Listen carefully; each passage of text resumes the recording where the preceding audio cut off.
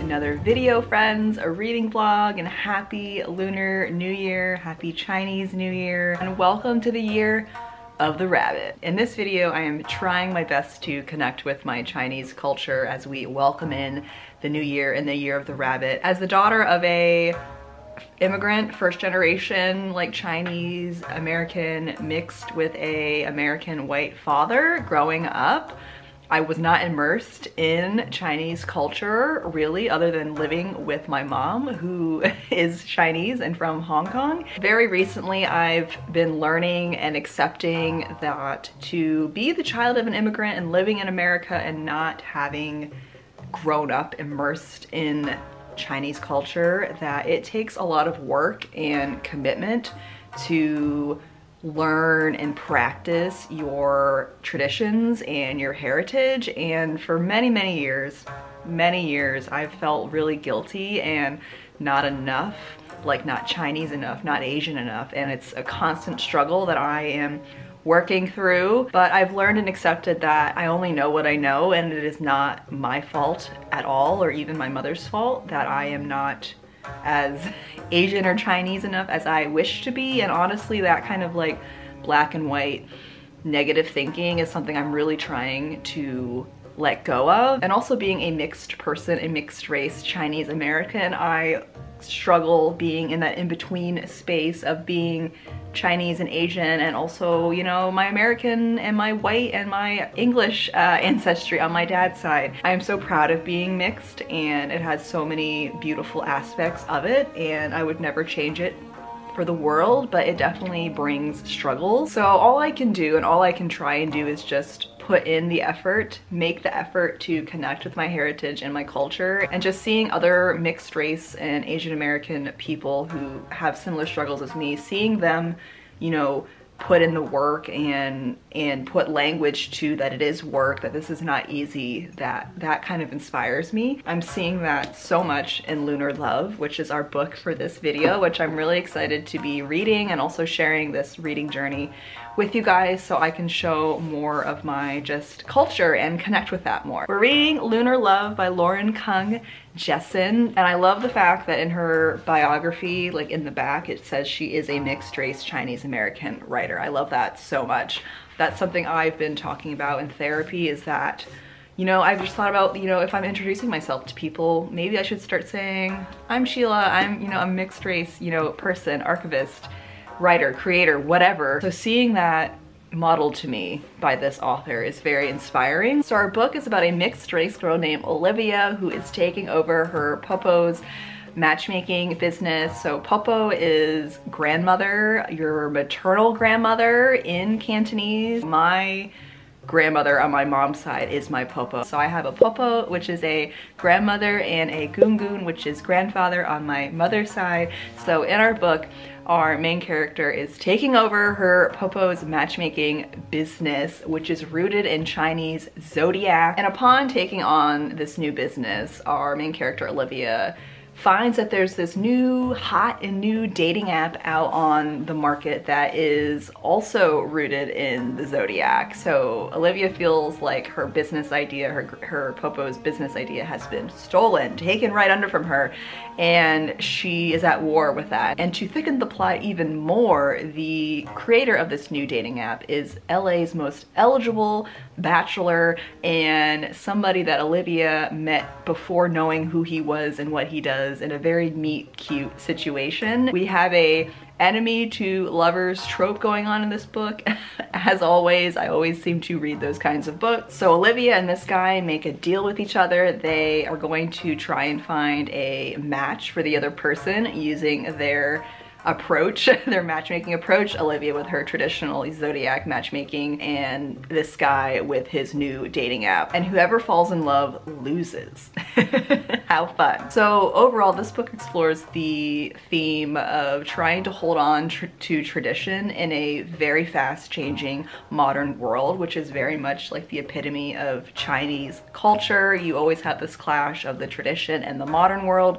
You see that so much in families, especially nowadays nowadays. That's something I am also seeing as I learn to connect with my culture and just seeing how my mom does things and my family when I've been with them, my Chinese family. So it is so interesting what we have here and I'm so excited to share this book with you guys. I I started reading this book last night and I'm 100 pages in. It's been very easy and fun to read and I'm quickly falling in love with the whole story and the characters and I'm really excited to see where this story takes us. I've also been trying to take time to learn more about Chinese New Year, Lunar New Year and the kind of the traditions specific to my heritage as a Chinese person. So I've been putting notes and writing things in my Hobonichi in hopes of just learning it and trying to practice it as much as I can. I know that family and food are big themes that are celebrated during this time of the year and that Lunar New Year is just not one day of celebrating. It's like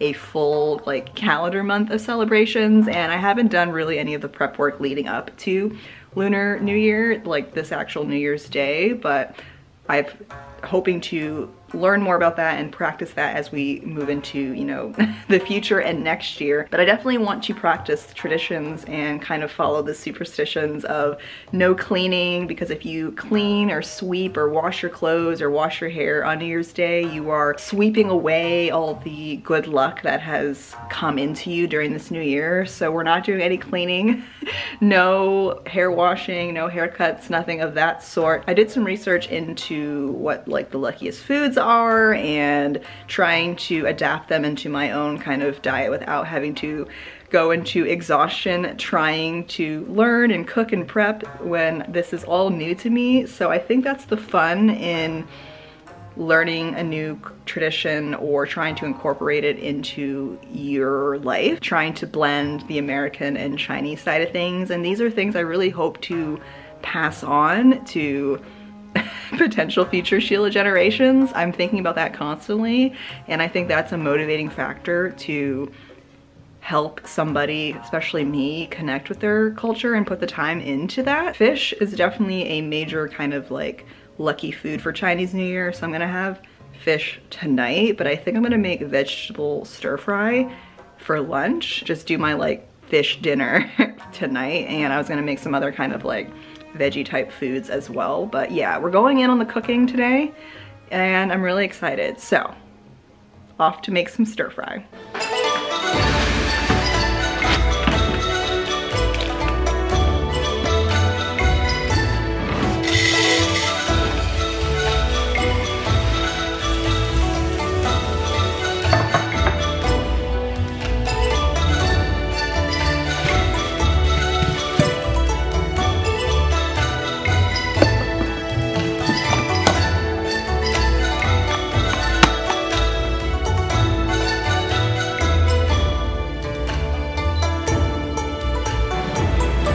Forgot to press my tofu, so now we're pressing it.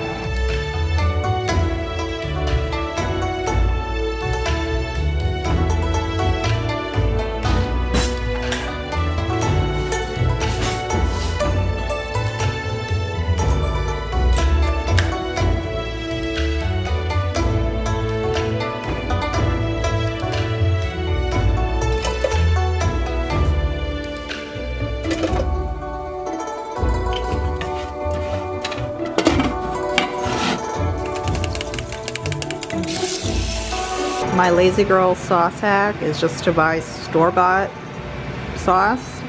I really love the sesame garlic sauce. Rice is done, and if you don't have pre-bought sauce, I feel like just putting soy sauce in this would be really all you need, and maybe some like ginger or cumin, spices, but really like the natural flavors of the vegetables being stir-fried. That's all you need.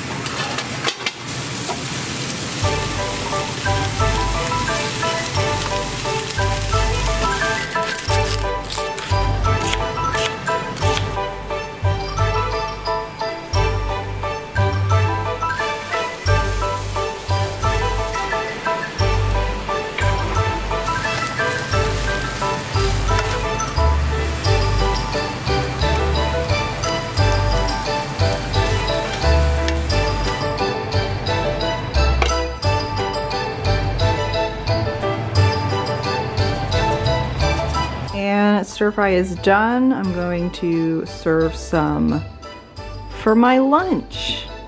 Yay.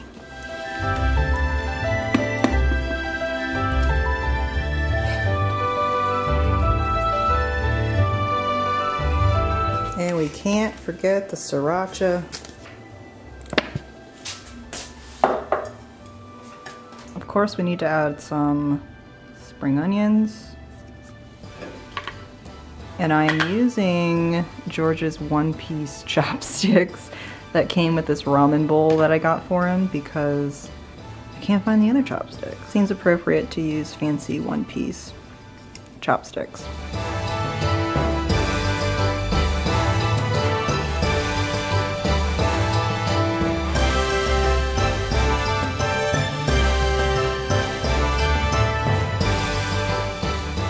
Food is done, dishes are in the dishwasher. I am sitting down to do some reading, just reading for the rest of the day. Well, reading for the rest of the afternoon until it's dinner time and then more reading after that. I'm really enjoying just making food and that's kind of the only focus for today and relaxing and celebrating. So let's do some major reading sprints it's getting pretty juicy. I've had some jaw-dropping moments so far, and I'm really enjoying the story. So let's continue.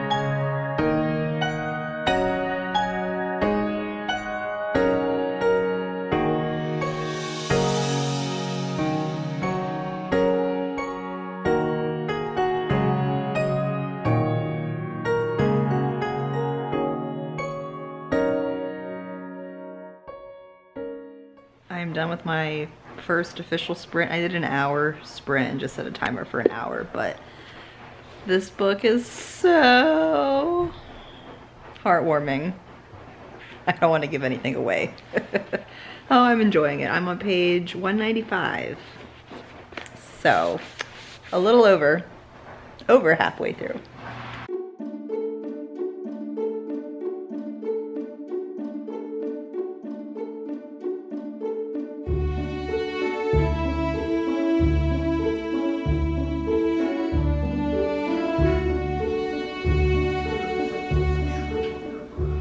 I finished this book in two days, guys. Two days. Welcome to the end of the video where I share my final thoughts on Lunar Love after finishing it and taking some time to let it sink in and I just really, really enjoyed this book. I gave it a four out of five stars. First and foremost, just love the mixed race representation within the story itself with the characters, but also our writer and how in her acknowledgement, she really touched on how it was important for her to have a mixed race character, characters, and just see that more in books, TV, movies. As a mixed person growing up, you just didn't see people that looked like you. And I want people, readers and people to know that mixed people exist, that we have stories and those stories need to be heard and uplifted. And I think my favorite part of this book, again, outside of the story, is the dedication. The dedication is for those who are also mixed and have felt like they aren't enough or don't belong. You are and you do. Thank you. Lauren Kung Jessen for writing this book for me and for all my other mixed brothers and sisters out there because I definitely feel seen and touched with this book and the characters in it and I want to see more of that in my reading. All in all, very heartwarming story. It was so cute. It was like a rom-com type story and I was giggling there were some shocking moments, some heartwarming moments, and overall just a lovely romance love story. And again, I love how the author incorporated the Chinese zodiac and the matchmaking dating aspect into the story. That was something different and new for me to read in a book. And the whole like tradition versus modernity with the old matchmaking way of things and the new online dating way of things and just how that's just a big metaphor for old and new generations and Chinese generations. Thank you friends for coming along for this reading vlog and journey of me connecting with my culture more as somebody who does not love cooking, somebody who is trying to enjoy cooking. I, for me, like in cooking during this video and incorporating my culture into that was really fun and good for me and I want to infuse that more into my life and this year as we continue after this video. So thank you guys for giving me the space and allowing me to feel safe to show up and do something and share something that I at times struggle with being in between in this third culture and this mixed person who doesn't feel quite this and doesn't feel quite this. Uh, it's really important for me to share this aspect of my life because I know there are other people, other mixed people out there who are struggling with what I'm struggling with and are looking to feel seen and see other people out there with similar stories and backgrounds. I send my love to this author and if any of you have felt seen or connected in this video as well, I just I feel like my job is done. Officially two books down for 2023 and that means I have 30, 31 more books to read for this year because my goal is 33 books. So I think we're doing a pretty good job getting two books finished during the month of January. I'm excited for all the other books that I want to read this year because there are so many books, so many good books that I want to read. all right, friends. Again, thank you for being here and I will see you in the next video. Bye.